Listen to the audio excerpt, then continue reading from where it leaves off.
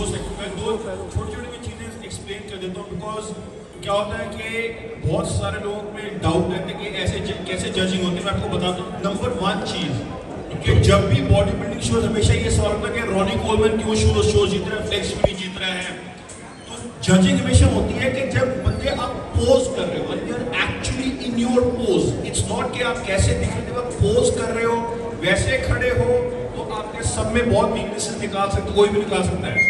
Actual judging होती scoring होती है कि जब हम कहते हैं कि ladies face the back and strike या वॉक टू द बैक या फ्रंट खड़े तब उसके बीच में आप कैसे दिख रहे हो फ़ोटो लेके आप डाल दोगे मेक्स नो डिफरेंस अगर जब हम आपको जजिंग कर रहे हैं, आप नहीं स्ट्राइक कर रहे हो पोज अब कई लोगों की कईयों की साइड प्रोफ़ाइल बहुत स्ट्रांग है फ्रंट इतनी स्ट्रांग नहीं है। आप साइड पे कहीं की बहुत वीक है, बहुत थिक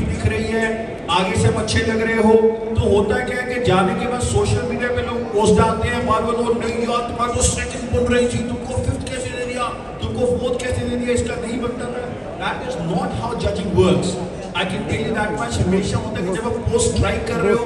बहुत अंतर है कि जब हम कहते हैं कि फेस द बैक और जब आप स्ट्राइक कर अपने ग्लूट्स दिखा रहे हो, कुछ भी हो, उसमें कितनी सेपरेशन दिख रही है, जब आप चल रहे हो, कितना जिगर है, उसमें आपकी पोजिंग भी मैं मानता हूँ। कि यहाँ पे हम पोस्टिंग को अगर बहुत ज़्यादा स्ट्रिक्टली लेंगे तो सबकी